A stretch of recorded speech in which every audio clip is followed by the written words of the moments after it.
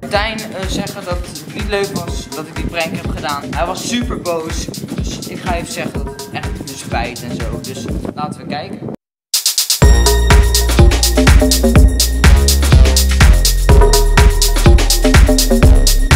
Sorry man.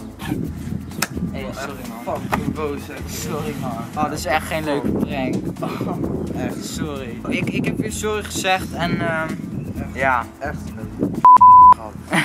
moet dat weer editen. Moet ik weer lekker voor je haat. Kut zo hè. Maar ik heb sorry gezegd en eh, Martijn, vergeef, vergeef je het? Nee. Nee? Oké. Nou, mooi. Nee man, het is goed.